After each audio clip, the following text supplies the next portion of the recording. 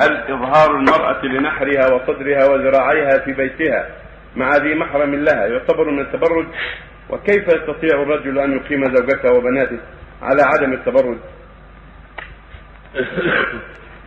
اختلف العلماء في تحديد ما للمحرم ان ينظر على أقوال منها ما سمعتم من أنه ينظر ما جرت العادة في كشفه فقط من وجه وفرط وقلاده و وذراع وقدم وأسفل الساق وزاد اخرون زيادة على ذلك من النظر إلى الرأس أيضا والعضدين ونحو ذلك ولكن الوقت وقت خطير نحن في آخر الزمان وفي غربة الإسلام وكثير من المحارم فسق أو كفر لا يؤمنون على محارمهم والعياذ بالله فينبغي لها التستر مهما أمكن ولا تأخذ بالرخص الزائدة.